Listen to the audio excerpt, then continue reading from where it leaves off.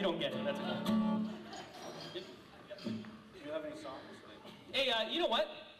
Play uh, play some sort of chord or note or something. That's good. Okay, that's good. Keep playing that.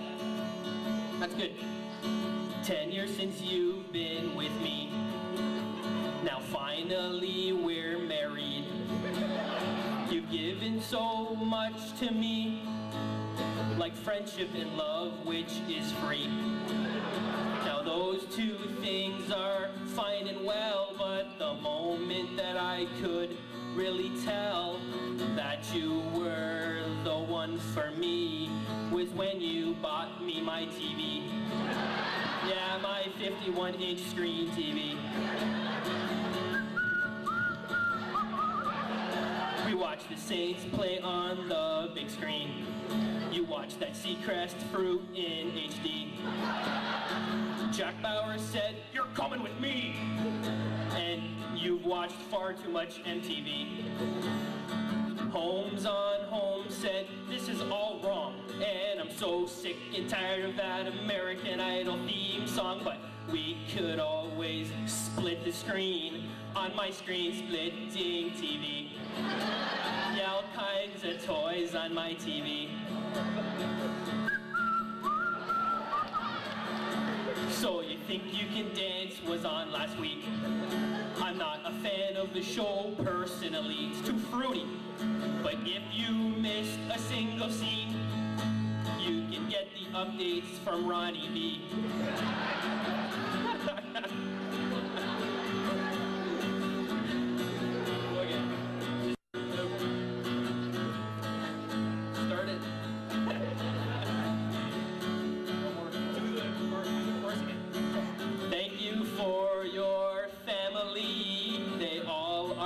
just so nice to me.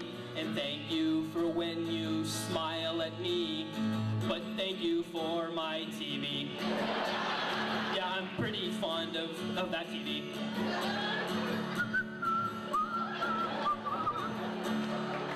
Now.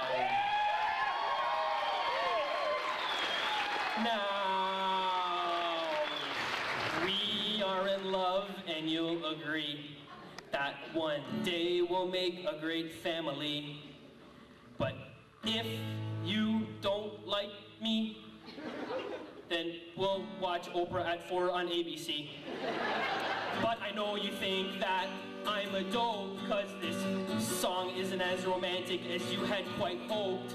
So if you are upset with me, we'll watch Dr. Phil on TV. Yeah, he'll fix us instantly. Cause unlike a shrink, he is free. Which suits my needs financially. So I'm just going to sit here and thank you for my TV. Thank you. Mike Grande, everyone. Mike Grande. Thank you.